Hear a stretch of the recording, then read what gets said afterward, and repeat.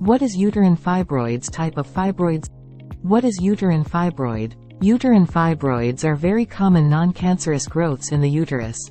Type of fibroids. 1. Subserosal fibroids. 2. Intramural fibroids. 3. Submucosal fibroids. 4. Cervical fibroids.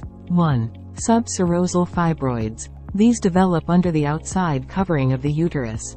2. Intramural fibroids. These develop within the wall of the uterus. It expands inward and increasing the size of the uterus. 3. Submucosal fibroids. These are just under the lining of the uterus.